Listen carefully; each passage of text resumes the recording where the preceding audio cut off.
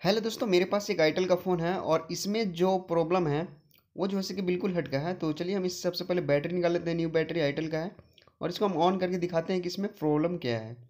तो देखिए, हम बैटरी लगा दिए ऑन कर रहे हैं। तो ऑन करने के साथ देखिए दोस्तों, यहाँ पे जो आईटेल का जो लोगो आ रहा है, वो अपोजिट साइड आ रहा है मानी अप साइड आ रहा है और इसका जो डिस्प्ले है, वो ब्लिंक कर रहा है और इसका जो थीम है, वो उल्टा आ रहा है।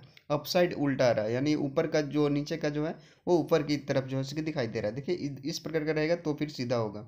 और इसमें दोस्तों डिस्प्ले वगैरह से मतलब जो है कि सब चीज़ सही है, जो डिस्प्ले इसका रहता है वही है बट इस प्रकार का प्रॉब्लम जो है इसमें देखने के लिए मिला है। सबसे पहले हम इसको खोल लेते हैं और इसके बाद आप लोग को मॉडल वगैरह भी दिखाते हैं। इसमें प्रॉब्लम को कैसे सॉल्व करना है, वो भी हम इस वीडियो में बताएँगे। तो बने रहेगा लास्ट में। अगर मेरा वीडियो अच्छा लगेगा तो कृपया चैनल को सब्सक्राइब कर दीजिएगा, वीडियो को लाइक कर दीजिएगा तथा तो वीडियो को जो है कि शेयर भी कर दीजिएगा, ताकि अपने दोस्तों को जो है कि रिपेयर करने में आसानी होगा। तो ये आईटेल का एस मॉडल है और एस टू ऐसे कुछ करके मॉडल है। तो आईटेल का जो दोस्तों मदर मदरबोर्ड रहता है, वो लगभग लगभग सभी का सेम ही रहता है। तो ये जो मेथड है, वो सभी में काम करने वाला है। तो सबसे पहले हम डिस्प्ले को जो है क्या करेंगे? रिसोल्ड करेंगे। हो सकता है कि डिस्प्ले में जो कार्बन वगैरह आता है या फिर वाटर डैमेज या फिर पानी जाता है तो इसके वजह से इस प्रकार का प्रॉब्लम आता है। तो दोस्तों, ज़्यादातर जो प्रॉब्लम है, वो पानी जाने की वजह से ही आता है। तो सबसे पहले हम डिस्प्ले को जैसे कि रिसोल्व कर देते हैं। हो सकता है कितने से करने से बात बन जाए तो अच्छा बात है। तो सबसे पहले हम यहाँ पे देखिए रिसोल्व कर देना डिस्प्ले को। और बिल्कुल अच्छा से रिसोल्व हो गया है। और बिल्कुल अच्छा से ही रिसोल्व करना है। यानी डिस्प्ले का जो पिन है, वो आपस में शॉर्ट नहीं होना चाहिए। और ताकि इसमें हार्डली जो है पेस्ट देख के रिसोल्व करना चाहिए, ताकि सोल्डिंग जो है फ्रेश बिल्कुल फ्रेश हो। तो देखिए, हम यहाँ पे जो है सोल्डिंग बिल्कुल अच्छा से कर दिए हैं और अब जो है कि यहाँ पे हम जो है कि खोल करके दिखाते हैं कि यहाँ पे लोगो वैसा ही आ रहा है या फिर प्रॉब्लम सॉल्व हो गया। तो सबसे पहले फिर से हम बैटरी लगाते हैं, फिर से पावर ऑन करके दिखाते हैं।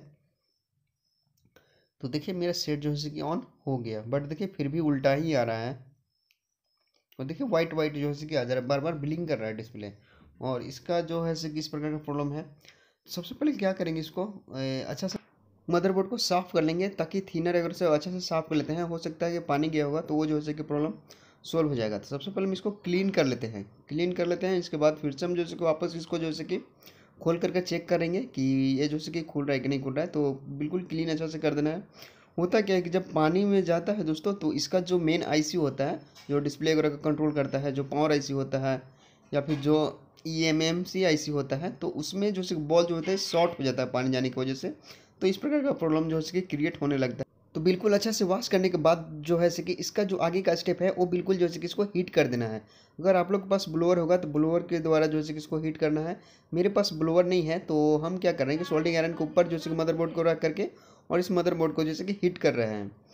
तो हीट करने से होता क्या है कि जो इसमें जो थिनर गया होगा, वो आसानी से सूख जाएगा और इसका जो बॉल है, वो थोड़ा बहुत रिपेयर हो जाएगा। तो आसानी से जो है कि स्विच ऑफ़ खुल सकता है, मेरा प्रॉब्लम सॉल्व हो सकता है। तो देखिए, हम यहाँ पे हीट कर दिए हैं सोल्डिंग आयरन की मदद से।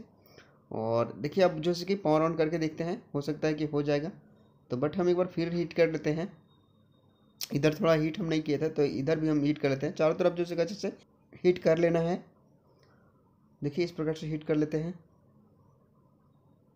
अगर ब्लोअर रहेगा तो आप लोग के हीट करने में आसानी होगा, बिल्कुल। और अगर फिर भी नहीं होगा दोस्तों तो इसका जो ऊपर का जो सील्ड है मेन आईसी का, देखिए यहाँ पे मॉडल है एस टू एन मॉडल है तो इसका जो सील्ड है, ये ऊपर से कबाड़ के, और फिर जो इसके आईसी को वॉश करके फिर से जो ब्लोअर से हीट कर देना है, हल्का पेस्ट दे करके, आपका प्रॉब्लम हंड्रेड परसेंट जो कि सोल्व हो जाएगा। तो मेरे पास नहीं है तो हम बिल्कुल ये जो कि ईजी मेथड जो है, बिल्कुल जो मतलब क्या बोले हम, जो मेरे पास व्यवस्था है, उसी से, जो है हम इसको ठीक करने का प्रयास कर रहे हैं।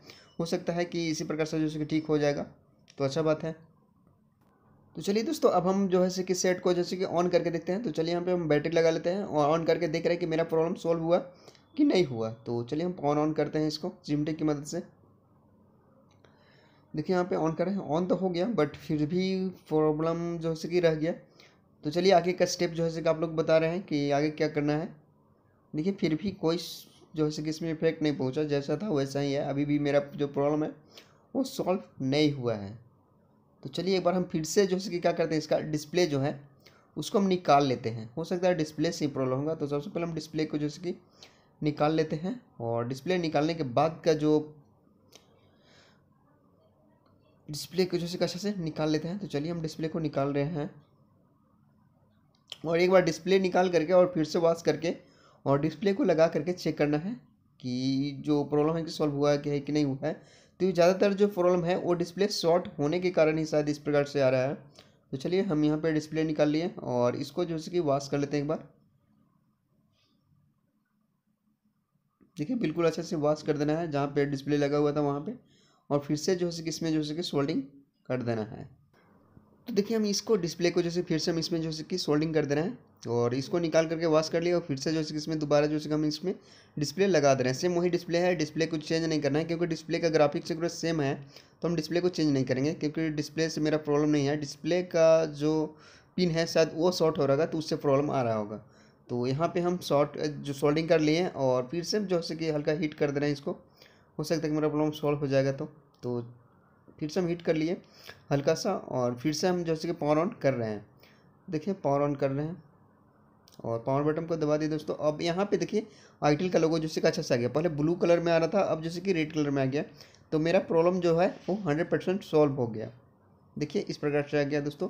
मेरा प्रॉब्लम सॉल्व हो गया। तो अगर मेरा वीडियो अच्छा लगा दोस्तों तो कृपया चैनल को सब्सक्राइब करना नहीं भूलिएगा वीडियो को शेयर करना भी नहीं भूलिएगा।